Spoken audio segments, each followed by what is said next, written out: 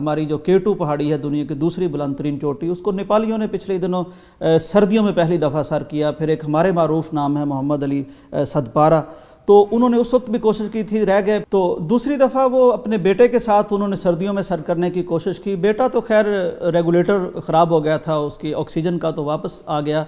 लेकिन ये फिर ऊपर जाने की कोशिश में लापता हुआ, जुमे से लापता है। और अब तो उसके बेटे ने भी ये बयान दिया है कि आप डेड बॉडी तलाश करें। कौम बहरहाल उसको बहुत बड़ा हीरो भी मान रही है, दुआएँ भी करती रही कि चलो एक हमारे मुल्क के लिए शख्स चढ़ रहा था। इस पे डॉक्टर साहब, एक तो यह है कि ठीक है, जज्बात हैं सब के मुल्क की ज़रूरत है, सारा कुछ है, लेकिन बतौर मुसलमान कुछ सोच भी आती है कि क्या इस तरह की कोई ट्रैवलिंग इस तरह को कोई सफ़र जिसमें हलाकत ही हलाकत हो, चले जाना, इसका कोई मुल्क कौम को फ़ायदा भी है कि नहीं? आप क्या समझते हैं? देखिए, इसके एक पहलू तो इसका वही है कि जो पूरी दुनिया में एक, जो ट्रेंड चला होता है, लोग उस ट्रेंड के पीछे जाते हैं और अपना इमेज बेहतर बनाने की कोशिश करते हैं।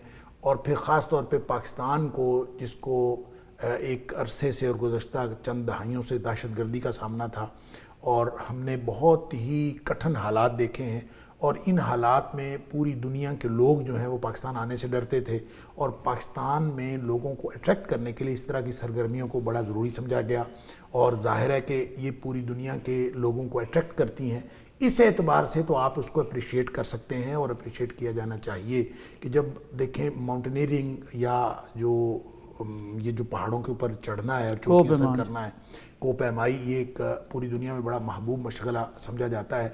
तो पूरी दुनिया के कोपैमा ज़ाहिर है कि वो इस पर अट्रैक्ट होंगे और इस उनकी तवज्जो पाकिस्तान की तरफ़ होगी। और पाकिस्तान को अल्लाह ताला ने जिस तरह के मौसम दिए हैं और जिस तरह का जो लैंडस्केप दिया है और इस तरह से जैसे दूसरी बुलंद तरीन चोटी केटू भी पाकिस्तान में है तो ये लोग जो हैं वो अट्रैक्ट होते हैं। इस तरह अगर वो मोहम्मद अली सदपारा हों या कोई और कोपैमा हो तो उनकी इन खदमात को सराहा जाना चाहिए, ये बात तो दुरुस्त है। लेकिन ये एक पहलू है, ये बात मुकम्मल नहीं है। मुकम्मल बात वो है जिसकी तरफ़ आपने इशारा किया। वो दूसरा पहलू, वो बहुत ही अहम है। देखिए, ख़तरात में, आपने कहा जी अपने आप को ख़तरात में डालना क्या इस तरह ये दुरुस्त है।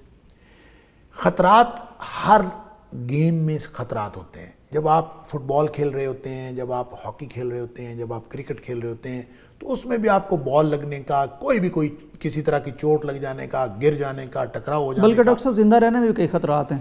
यानी ख़तरात तो आपको हर जगह पे होते हैं। लिहाजा सिर्फ़ ख़तरा या ख़तरे का इम्कान होना ये किसी चीज़ को नाजायज़ नहीं करता।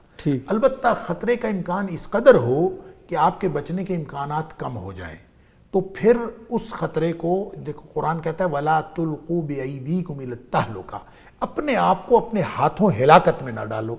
अब ये अकीदे के एतबार से भी है ये अमल के एतबार से भी है। जहाँ यकीन है अब जब हलाकत कितनी है ख़तरा तो हर चीज़ में है। आप इसको यूँ समझ लीजिए कि इस कैलकुलेशन की दुनिया में आप ये देख लें कि मोर देन 50 परसेंट इम्कान हैं कि आप आ, उस ख़तरे का शिकार हो जाएँगे। जो आपको ख़तरा, कोई खदशा है तो आप तबाही और बर्बादी के इम्कान जो हैं, वो 50 परसेंट से ज़्यादा हों तो आपको वो काम, वो चाहे वो कोई गेम हो, चाहे वो कोई मामला कोई और हो, उसको इख्तियार नहीं करना चाहिए। तो कुरान ने तो एक जनरलाइज्ड प्रिंसिपल दे दिया, वला तुलकूब मिलता हलुका अपने आप को खुद अपने हाथों इलाकत में ना डालो। अब ज़ाहिर है कि जो लोग सिगरेट नोशी करते हैं, जो लोग तंबाकू पीते हैं, जो लोग मुख्तलिफ़ किस्म के मशरूब पीते हैं, मुख्तलिफ़ किस्म का नशा करते हैं, अब ये सारी चीज़ें इंसान को हिलाक कर देने वाली हैं। इसी तरह से ये जो गेम्स के अंदर, जहाँ ख़तरा बहुत ही कम है, ये मिनिमल है तो उसका कोई हरज नहीं है। फ़िज़िकल गेम जो गिरते हैं शाह सवारी मैदान जंग में, इसमें क्या हरज है? लेकिन एक ऐसी बात कि जिसमें आप एहतियाती तदाबीर भी इख्तियार नहीं करते, आप सिर्फ़ नामवरी के लिए और पूरी दुनिया को दिखाने के लिए आप ऑक्सीजन का सिलेंडर भी नहीं लेते और सर्दियों में इसको जहाँ मौसम की शिद्दत इस कदर है कि उसको डेथ जोन ओवरऑल जो है को पैमाओं की ज़ुबान में उसको उस एरिए को डेथ जोन कहा जाता है कि वो चोटी का एक हिस्सा है जहाँ ज़ाहिर है तेज़ शदीद हवाएँ होंगी ऑक्सीजन की कमी होगी और कहते हैं खून बिल्कुल जम जाता है दिमाग पूरी तरह काम दिमाग पूरी तरह इंसान का काम नहीं करता। तो वहाँ आप अगर ये कोशिश करें कि मैं बग़ैर ऑक्सीजन के सिलेंडर के और बग़ैर किसी आ, सहारे के और मैं उसको सर भी कर लूँ और सर्दियों में कर लूँ तो ये मेरा ख्याल है क्लियर कट अपने आप को हिलाकत में डालने की बात है। लिहाजा जहाँ एक तरफ़ मुल्की एतबार से उसकी काबिल कदर और खराज तहसीन पेश कर देने वाली एक खिदमत है और इसको जो कौम हीरो समझ रही है साथ इस पहलू को नज़रों से महव नहीं करना चाहिए कि उसने अपने आप को हिलाकत में डाला और ये हरगिज़ नहीं डालना चाहिए था। और आइंदा भी जो इस तरह के जो अफराद हैं, वो अगरचे हमारी कौम का बहुत बड़ा सरमाया था। अल्लाह करे कि अब भी उसको कोई इम्कान हों और वो ज़िंदा बच के आ जाए को अल्लाह ताला कोई मुआवजा कर दे और वो ज़िंदा बच के आ जाए तो इस तरह अपने आप को हिलाकत में हरकज़ नहीं डालना चाहिए। अगर वो कौम का सरमाया था तो वो एक बहुत बड़ा सरमाया हमने बेहतियाती की नज़र कर दिया, बेहतियाती की नज़र हो गया।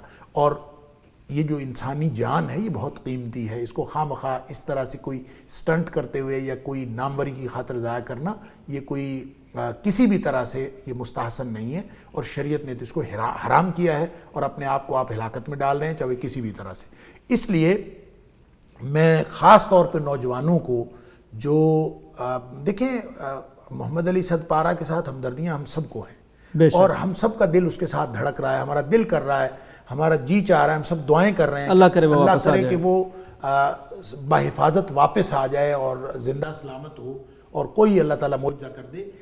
लेकिन आइंदा के लिए लोगों को भी ये समझना चाहिए और हमारे ख़ास तौर पर नौजवानों को ये समझना चाहिए कि कोई भी चीज़ एक हद तक ठीक रहती है और उस हद के आगे जहाँ हिलाकतें ज़्यादा हों इन्जॉयमेंट से या किसी भी चीज़ से तो उस चीज़ को इख्तियार नहीं करना चाहिए और ऐसी चीज़ जिसमें गेम के नाम पर या खेल के नाम पर आप अपने आप को हिराकत में डाल रहे हो तो ऐसा हरगिज़ नहीं करना चाहिए। शरीयत इसकी कतन इजाज़त नहीं देती।